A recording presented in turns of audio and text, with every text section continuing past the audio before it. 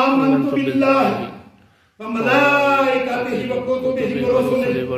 واليوم الآخر والقدر. من والباس بعد الموت. کہ میں اللہ پر ایمان لایا. اب تو نے کہا اللہ پہ ایمان لایا. کسی کے ہاتھ کے کسی کے سامنے یا اکیلے؟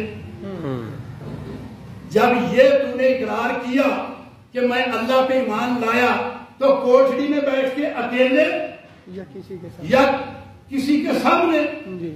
کسی نے پڑھایا یا اکیلا نے پڑھا۔ کلمہ کسی نے پڑھایا یا اکیلے پڑھا۔ قرآن کسی نے پڑھایا یا اکیلے پڑھا۔ یہ سب کچھ کسی نے پڑھایا یا اکیلے پڑھا۔ جی۔ کہتا جی پڑھایا۔ تو آپ نے اقرار کیا کہ میں اللہ پہ ایمان لایا۔ لایا۔ اب میں بازار سے یہ چیز لایا۔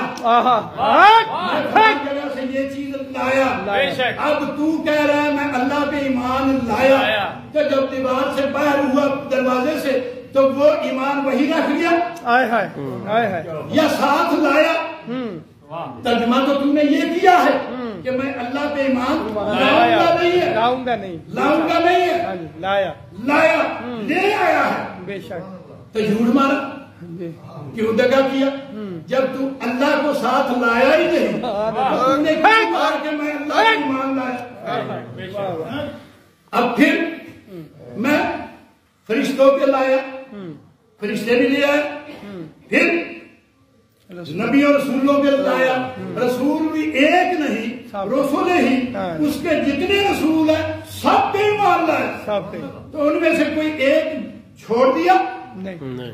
جب سب پہ ایمان لایا ہے تو سارے رسول تیرے ایمان کا حصہ ہے۔ بے شک۔ سارے فرشتے تیرے ایمان کا حصہ ہے۔ ساری کتابیں تیرے ایمان کا حصہ ہے۔ اب تیرے میز پہ اگر توریت رکھی ہو زبور رکھی ہو انجیل رکھی ہو تو ایک آدمی یہ کہے کہ یہ کیوں رکھی ہے؟ تو تو قرآن سے نکال دے۔ بے بے شک۔ شک۔ آمن الرسول بما انزل الیہ من ربہ والمؤمن کل آمن باللہ وکتبہ ورسلہ بے شک بے شک تو تمام کتابوں تمام رسولوں پہ ایمان لایا ہے بے شک۔ لال فرنے کو بینا حاتم میں رسول اور کسی ایک رسول کے درمیان فرق نہیں سمجھتا تو۔ اب کس کو برا کہے گا کس کو برا کہے سبحان اللہ کس کو مانے گا کس کو نہیں مانے گا؟ بے شک۔ جب لام فرے کو بینا حاتم ہے کہ کسی ایک کے درمیان فرق نہیں جو سودا نوح علیہ السلام کو دیا آدم کو دیا ابراہیم کو دیا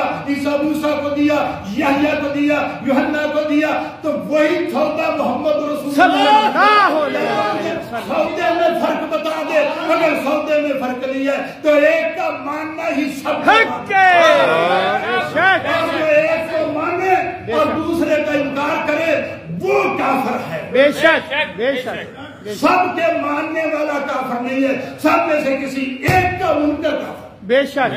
بے شک۔ بے شک۔ اب تیرا ایمان ہم، اللہ ایمان بے شک فرشتے ایمان بے شک رسول ایمان بے شک۔ کتاب ایمان بے شک یوم الاخر ایمان بے شک خیر و شر ہی شرارت بھی اللہ کی طرف سے بے شک۔ خیر بھی اللہ کی طرف سے بے شک۔ پھر تو جب کوئی مندہ کام ہو تو کہتا ہے میں نے کیا ہے۔ چنگا ہو تو اللہ نے کیا ہے؟ اور خبیص تو تو اللہ تعالیٰ کے ساتھ جھگڑے میں پڑا ہوا ہے۔ تیرا جھگڑا ہی نہیں ختم ہوا تو تجھے سکون کیا ہوگا؟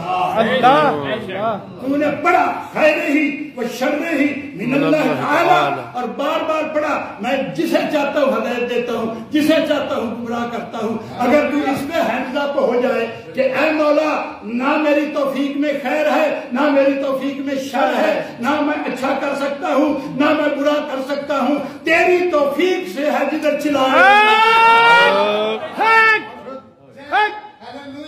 آپ کی بات ہے یہ اتنی چیزیں مل کے ایمان ملا ہے۔ بنا ہے۔ پہلے سمجھ جاؤ کہ تیرا ایمان کتنا وسیع ہے۔ اللہ تیرا ایمان کتنا وسیع ہے۔ یہ ساری چیزیں مل کے ایمان بنا۔ جب بیج میں چلے جاؤ گے بیج میں تو پھول اور کانٹا اس بیج میں اکٹھے ہیں یا جدا ہے اکٹھے۔ تو تم وہاں کیوں نہیں رہتے؟ یہاں خیر شاری اکٹھے ہیں۔ یہاں پھول کانٹا اکٹھا ہے۔ بے شک۔ جہاں اونچ نیچ اکٹھی ہے ہم توحید میں رہتے ہیں۔ ہم باہر رہتے ہیں۔ جہاں جو کچھ ہے اللہ ہی اللہ ہے۔ پھول بھی ہے ہر چیز ہم غیر دیکھتے ہی نہیں، اور تجھے بھی بلیوں میں ڈوبا ہوا ہے۔ یہ خیر ہے، یہ شر ہے، یہ اچھا ہے، یہ برا ہے۔